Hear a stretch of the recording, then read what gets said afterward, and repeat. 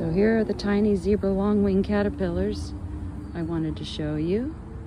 They're itsy bitsy. Look at them. Aren't they amazing? So you can see, here's the end of my finger. You can see how tiny they are. These zebra longwing caterpillars like to cluster together uh, underneath leaves, and there they are all together. Look at the different sizes. You've got itty bitty, medium, smallish, and then you can look down here.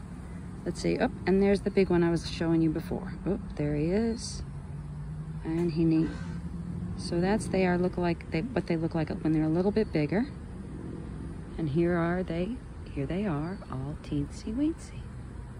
So again, zebra longwing caterpillars, multiple sizes, and hopefully we'll all become uh, butterflies soon.